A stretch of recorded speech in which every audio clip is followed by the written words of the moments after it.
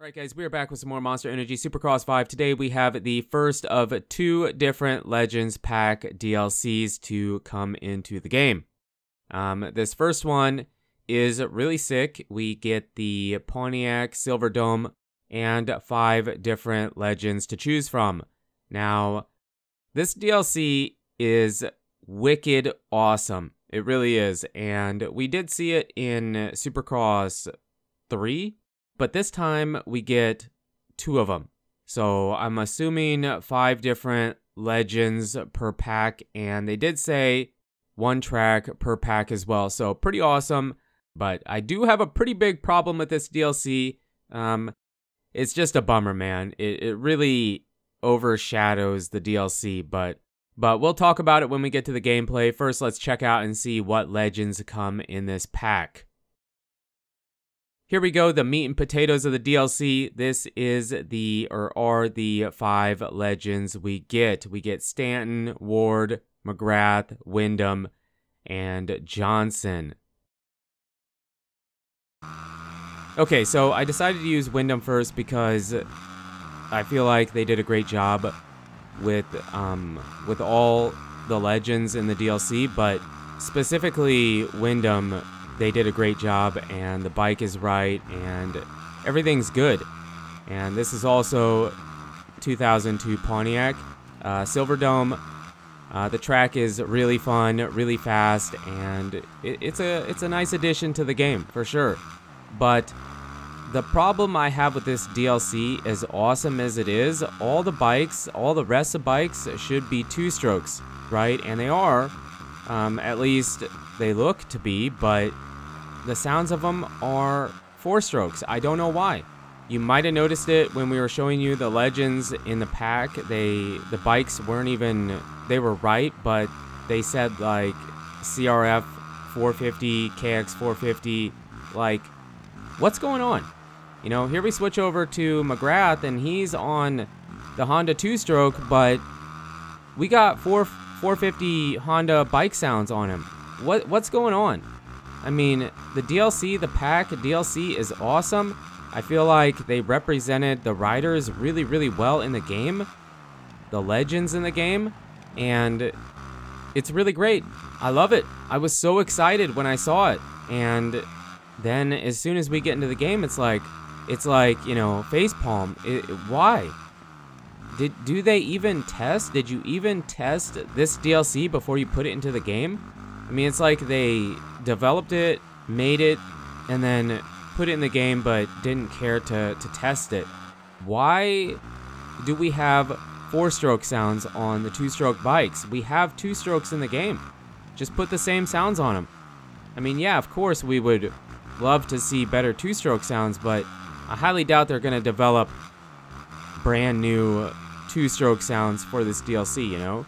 So it's just really unfortunate. I'm sure they'll fix it, so it really isn't that big a deal, but it just really overshadows the DLC a tiny bit for me. I mean, it doesn't make the DLC not awesome, because it is, but, you know, it's just, it's a bummer. And if you don't have a problem with it, and you sit there and say, they'll fix it, no big deal, I disagree with you.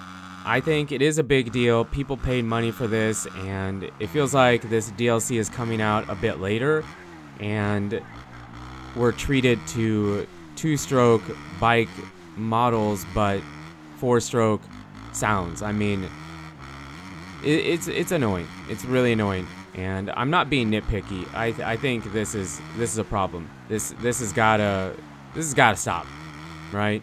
I mean, another problem we have in the game now is that uh, somebody else mentioned it. The the birds and the compound sounds kind of bleed over into the main game, like the menu and whatnot, if you're in the compound or if you free ride. And that's been in the game since the last update, not counting the one that put this DLC in the game. Um, it's just. I love Milestone. I do. I love that they make motocross games because that's what we play here. But come on, man. Come on. This, it's got to be better. The bikes look cool. The track is fun the DLC, I believe, is probably worth it. I think it's like, I actually don't know how much it is individually, but if you buy the season pass, it's like 30 bucks or something, or 20 bucks, and and then you get everything that comes out for the game, right? So I'm assuming it's probably like seven, eight, nine, ten dollars maybe, and in my opinion, it's worth it. This is cool. It's really fun to use these bikes and use these different riders, and, and I, I, again, I feel like they made them look awesome. They look really, really, really good. And if you enjoy the game, for sure, pick it up. I feel like this is probably going to be this and the other Legends pack is going to be or are going to be the strongest DLCs in the game. And I'm really curious to see what the other Legends pack has, what track, um, what ri riders, and and whatnot. But um, I'm really hoping they can get this patched really soon. I was playing on Xbox, so if you're playing on PC or or PlayStation, maybe you don't have this same problem. Somebody was accusing me one time of trying to make the game like worse than it really was, like with MXGP 2021. Um, the track editor was really bad on PC. Someone someone came to my channel or the video was like, "Stop trying to make it bad."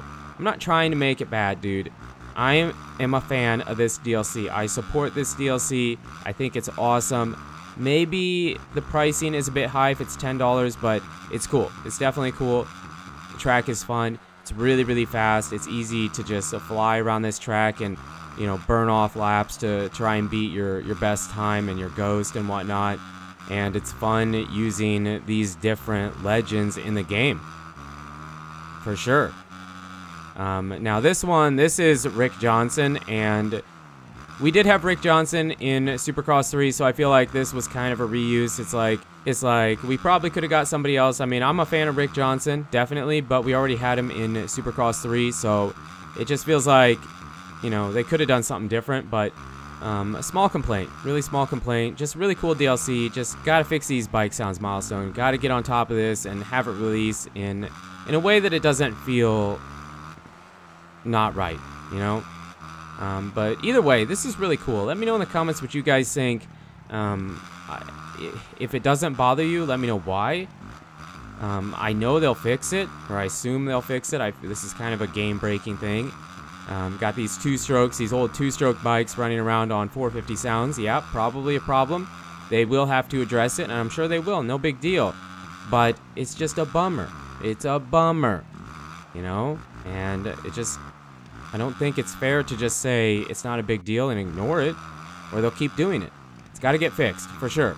But yeah, let me know in the comments what you guys think. Are you a fan of this DLC? Have you tried the DLC? Are you looking forward to the second Legends pack, or are you not picking up the DLC because of whatever reason? But you guys and girls are absolutely amazing. Thank you so much for the support on the channel lately. It really does mean a lot. And until the next video,